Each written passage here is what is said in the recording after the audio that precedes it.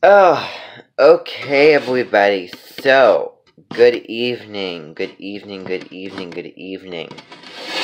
Now, tonight, we are going to be talking about positive and negative numbers. So, what we're going to be doing is we're going to be looking at the number line. Okay, the number line. Don't know if you can see my hands here um, looking at the difference between the two different types of integers, because that's what they're called. Then we're going to be looking at how to solve problems using those values and mixing them up. Now, I'm just going to erase this here so that we can get started.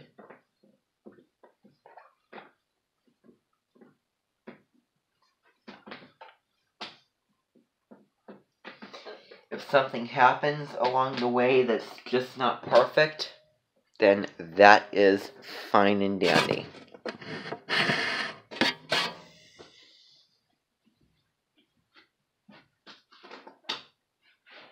I was feeling a little bit superficial, probably a little bit. Dry, and just just don't fake your feelings because you have to act normal and be appropriate and blend in and try to conform and go through the motions and everything and try to excite people. I mean, if you're not feeling it, then just don't try to do that because it's uncomfortable and it gets old really quickly. You try doing it because I can tell you what, your balloon is gonna run out of steam before you know it. That's not what I'm gonna do this year in 2021. Okay. Now, so, um,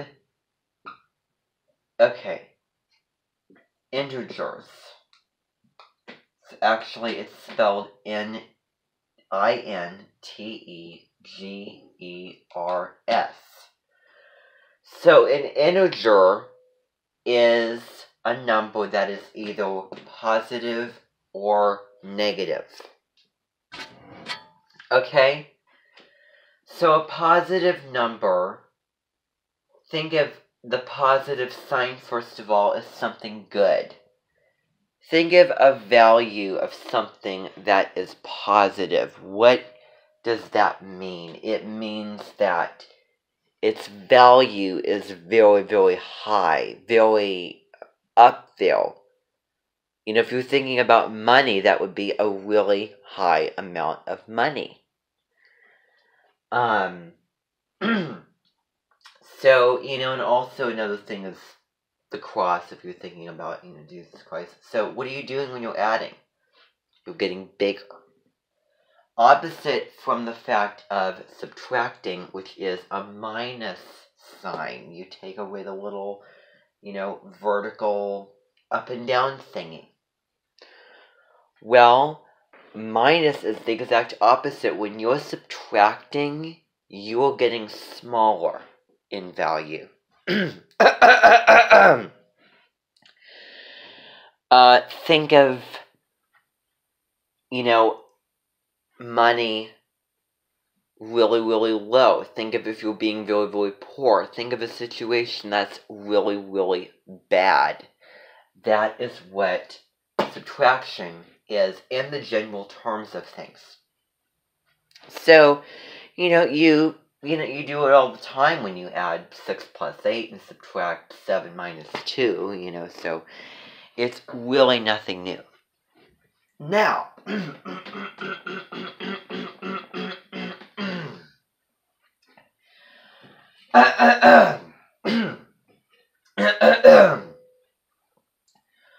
we are going to be looking at the number line. So, for the beginner's perspective, when you think of a number line, you think of the zero starting right here, and then say you have one, two, three, four, five, six, seven, eight, nine, ten, eleven, and so on and so forth. There's also another, you know, there's also other number lines that go like this. Zero, two, four, six, eight, ten, twelve, fourteen, sixteen, eighteen. So they're counting by twos. You could do the same for counting by threes, you know. So you can do like zero, three, six, nine, uh, 12, 15 if I'm counting right. Um, well, okay, let's just go on anyway. So, 16, 17, 18, 21. And you can do the same for a number line of 4, 5, 6. Um, you know, it's starting here and it's increasing in value as it goes further to the right. So think of if you're going right, it's the right way to go. It's a really, really, really, um, very, um, very beneficial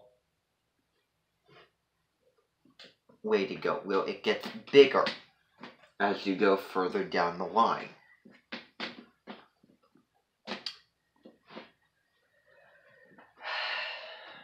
That's not what the full official number line is. Now let's come back to what we were talking about with integers. And let's draw the line again. So let's start out here real simple with the el zero. Let's start with the zero.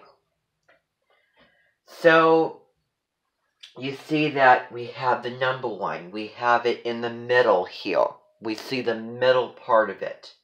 Okay? So, um, you have the zero here. And as I've already said, when you were going further to the right, you were getting bigger in your number values. So we would still fill in the same here. So you're looking to the right. So one, two, three, four, five, six, or you can do by twos, threes, fours, whatever you want to do. Then, then what's going to go on the left? Well, that's where this comes in here. We have this and this, but let's look more specifically at this sign right here. So, as you can see, this is a negative sign here. I'll draw it again. So this is a negative sign. So, a positive number, a positive integer would just be like a regular number, say 8. 8. Or my lucky, uh, uh my lucky number 6. Let's stick with 6. So, instead of putting the plus 6, you don't even need that because, you know, 6, you know, it says positive 6, so just 6 because it is indeed a positive number. But that's not the case when it comes to a negative number because you need differentiation, where it does have that negative sign, and I won't go into the specific reasons of that because there's really not really anything else to explain. But so you have, say, negative 6 would look something like this, so you can tell the difference. Positive 6, negative 6. Regular 6, negative 6. So that's what would go here, and you see that it's a little sloppy. Um, so then, what do we do here? Well, on the left is the negative numbers. So, as you go further to the left, it gets smaller. It decreases in value. Think of if you are underwater and you're going further down into the water. You're you're go you're you're getting deeper into it. Okay. And what is the level of volume that you're at? Think of a thermometer. Think of temperature. As it's getting up, it gets more into the positives, a high of, I don't know, 78. And then as you're getting, so you're getting warmer, you're getting hotter, you're going higher, more positive numbers. Opposite going lower, you're getting colder, and the numbers go down slowly towards zero, and then below zero would be, you know, say negative 1 and then negative 2. So instead of saying, you know, instead of putting, say, you know, so here's how it's going to go. You see that, so for example, the number to the right and to the left of 0 is always 1. So you start at 0, you go 1, 2, 3, 4, 5 this way. You start at 0, and then you just go you know, one, two, three, four, five, six, seven, but instead of going right, you're just simply going left. Um, but you're decreasing. So, you know, I think that that's really the only way that I can explain it. Uh, I think that the visual of it really, really shows. So, uh, negative 2, negative 3, negative 4, and so on and so forth. Okay? Um, so, you know, negative 1, negative 2, you realize that it's not negative 4, negative 3, negative 2, negative 1, uh, as you can see here. Because, you know, you, you might say 2 is a bigger number than 1, but it's it's to the left. It's further to the left. If it's further to the left, it's smaller. Further to the right, it's bigger. Let's go. Further to the left, it's smaller. Further to the right, it's bigger. Boom! Further to the left is smaller, smaller. Further to the right is bigger. Could make a huge song about that. Okay. Well, that's my little, you know, fun little indicator there. Okay. So, um, so, you know, when you have, you know, obviously positive 3 is bigger than negative 3. Oh, they're equal in their number. No. No, because you have negative 3 and you have positive 3. So the positive 3 would be positive, good. Bigger is better. um, kind of American motto um, and belief, philosophy, way of looking at doing things and going about things, you know, the kind of thing. Negative 3 is smaller. So, you know, even though 4 is a greater value than 1, if it's negative, then it's less. You're going further this way. So I think that you can understand that. Now, let's put this into um, solving. So, Actually, let's do something else before we decide to do that. So I'm going to erase this, and I'm just going to simply leave this subtraction sign, or this negative sign, like that.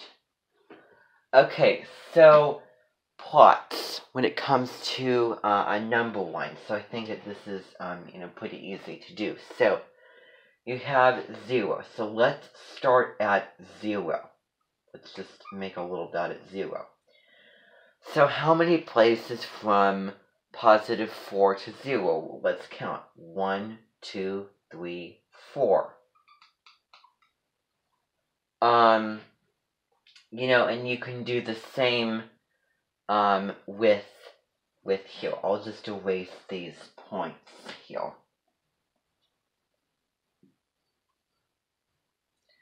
So negative 2 to 2, positive 3. 1, 2, 1, 2, 3. Um, so, so it would be 1, 2, 3, 4, 5, I believe. Okay, I completely forgot about something. What about 0? Is that a positive or negative? Um, I could compare it to an atom in science. You know, this is the nucleus, the center of the atom. It houses protons. And then the uh, and then orbiting around that would be the electrons. Protons would be positive, electrons would be negative. Then to take up space, you have the neutrons in the nucleus. Well, if the protons have a positive charge, electrons have a negative charge, what do you think the neutrons have? Neutrons. What does that word mean? Oh, what does it sound like? Oh, neutral. Neutral means they have no charge. So these would be the protons. So this is your little handy dandy way of thinking about it. And then these right here would be your electrons. This would be your only neutron. So zero is not a positive nor negative number. It just is just that odd one out. It's like being born on Leap Year's Day, the 29th of February, aliens. Zero. Well, that stands on its own. Oh, and by the way, not aliens if you're born on the 29th of February. I was just making that up because, well, what a sad life to live if you're Oh! Oh my goodness me, I did not realize this. If you're born on the 29th of February, then that gives you an advantage because you can stay younger for what long? No, no, no. Well, you could stay one age for a longer period of time. Oh my goodness me. Well, there is a change in positive. Okay. Never mind what I said. Okay. Everybody says things. Okay, once in a blue moon. Now, I'm sure that you've all seen this kind of thing.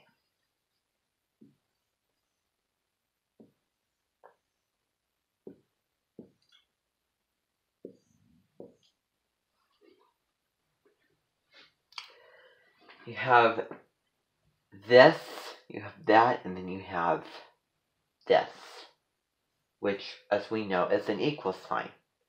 If you do it in any problem, say 6 plus 5 equals 6 plus 5, and then what do you get out of solving this? So 6, 7, 8, 9, 10, 11 equal 11. You know that is. Okay. But are we really sure about what these things are? Or do we think that we know them, but we don't yet know what they really are? Well, looking at this and looking at this, these are both linked together as one, but they're two and they're separate. So this the you know, the little hint that I want to get at here is the mouth of an alligator. The mouth of an alligator. Ooh, I'm hungry, says the alligator. I'm, you know, the alligator is really, really hungry. It really wants to eat a feast of different aquatic animals. And it sees one collection, say, of animals, and then the other collection. One is smaller, one is bigger. This one is smaller, this one's bigger. well, the alligators, well, you know, especially because the alligators, I mean, it's, he is very, very hungry. So, what do you think that he will want to eat more of it? Well, okay. So, just, you know, okay, well, let's actually say that the pile of food, you know, of animals that is more than the other the one that has more is fresher and better quality. Fresher and better quality. The alligator is much more a fan of, say, crayfish than shrimp. Crayfish and lobster than the shrimp and the clams over here. And there's more amount of the thing over there. So what do you think? that the alligator would want to do? Well, it would want to eat thing that is more of, thing that is more, contains more, and it actually tastes better to the alligator. So, this is the mouth of the alligator. See how it looks like a mouth? So, this is the other mouth of the alligator. Oh, Mighty Mac idea. You know, we you know the engine with you know one you know Mighty Mac. It's kind of like you know if you put two bodies, glued two bodies together, one over there, one over there, connected in the same engine. Well, um, now I want you to look at the next thing that these symbolize, which would be, isn't this familiar? Arrows. You have the mouth of an arrow, right here. This would be the mouth of an arrow. This would be the little line, and the little line is going into this part of it. This, okay. So this part, the little corner part in the middle, the line is heading towards that, either over there over there. So it tells you where the arrow is pointing. Obviously, this arrow would be pointing to the to further right. This arrow will be pointing further to the left. So the mouth, the arrow is going this way, that way. It would go this way if it's this arrow. And then this way if it's that arrow. You, you, you, know, if you have this, you know, you know, an arrow does not look like that. Or an arrow just doesn't look like this. And again, it's visual. So the visual, the pictures do the talking for me. Okay? you know, a picture's worth a thousand words. Really it is, but still. Um, now, um, think of the food that the alligator is eating as numbers. So let's say we have, I don't know, three and six. So here, actually, let's, um, let's erase this model here. Now that I've explained that, let's uh, do it over again. Um, let's do it over again. So, um, here, actually, let's erase this number line here because I really don't think that we need this here. So, taking two number values, let's say, you know, we have 3 and 6. Is it less than? Is it greater than? The reason why we say less than is because if you if the arrow is pointing that way, we're getting less further to the left. It was pointing this way to the right. We're getting bigger. Arrows do not and will not look like that and the lines are not even the right places. But, well, that's really the point, because it's flawed. It's all wrong. So, let's draw that again. Less than, greater than. We obviously want to eat the pile of more food. So, 6 obvi- both of these are positive numbers. So we look further right. 6 is obviously a bigger number than 3. So we want to eat more of that. So we want to get to the bigger number. So 6 would be greater than 3. And it makes sense because if you're thinking about, say, 6 on a number line, then you would have to move this way to the left. You're going, you're decreasing to get to 3.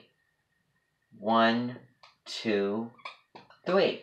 See how that works? See how these two both tie into each other? Okay. Now we're going to change it up a little bit. Now we're gonna change it up, baby. We're gonna do a little change. We're gonna do a little change. We're gonna change it up. Pew! We're gonna change it. I don't know. I could be, you know, Laura Theodore's best associate with that. Okay. Um, so let's say we have, I don't know, 3 and negative 6. Are you serious? I did something so wrong because 3 is a bigger number than 6 because it's positive, but it's over there. It's over to the left, and negative 6 is a negative. It's to the left the zeros, and it's less than, below 0, less than 3. Switch them up! I'm here to tell you, I don't think that it matters. Okay. So,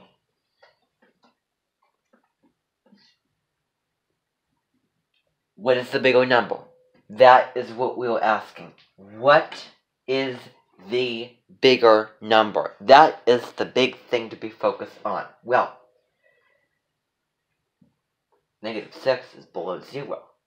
If it's negative, it's less than 3, which is a positive. It's to the right of 0. Remember, 0 is that neutral.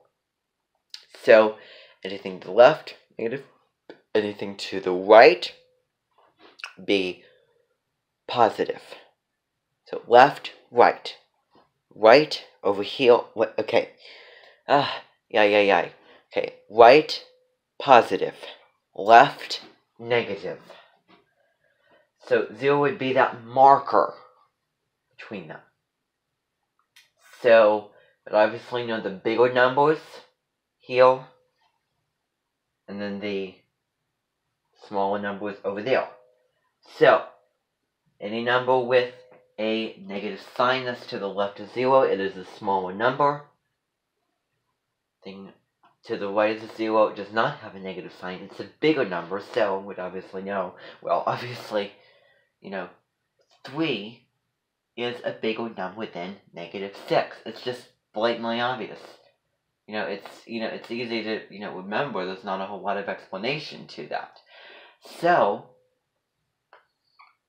remember the mouth. Think of a mouth. It, you know, it's open up into. It doesn't go like this. It doesn't go like this because of a blockage to it. Yeah, it has to have that opening. So, three would be a greater number than negative six. Um, so three, oh, oh, oh, baby. See how this works? Let's see how this works. Okay, so you have three here. Let's say we have three right here. And we go further to the left, we would get negative 6. Over to the left is further negative 6. So three. One, two, three, four, five, six. It doesn't matter. You know, the pos if the if the bigger numbers here, positive numbers here, negative numbers there, that doesn't matter. And I think that you can see why that does not matter.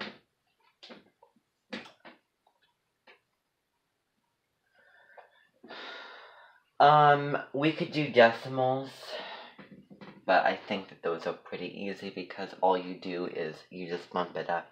Five and above, give it a shove. Four and below, leave it alone. Let's not worry about that today. So, now, let's get to the solving of the equations with these two things, with the positive and the negative. First and foremost, let's start out with, say, 6 plus 2. Okay, well, 6 plus 2, that's easy. 8.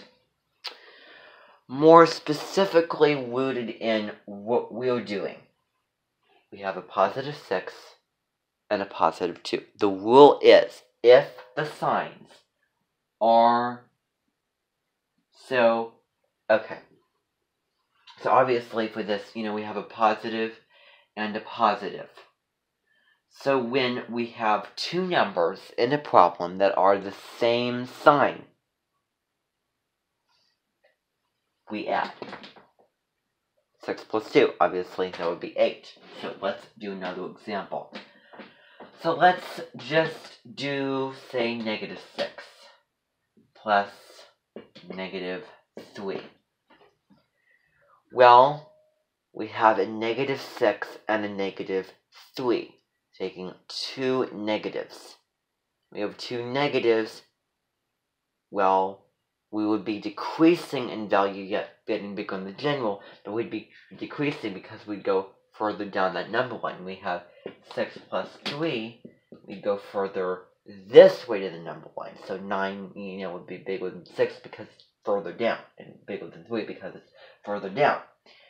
And, you know, and negative 9, which is the answer of this one, would be further down, which would be less, and we're adding these because they have the same sign, negative 6, negative 3, both negative numbers. We add 6, 7, 8, 9.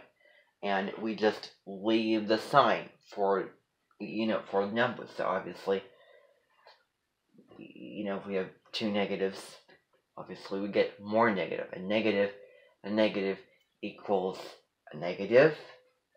Positive, positive equals another positive. I'm talking in math rules here. Okay. Um, however, that changes. We're going to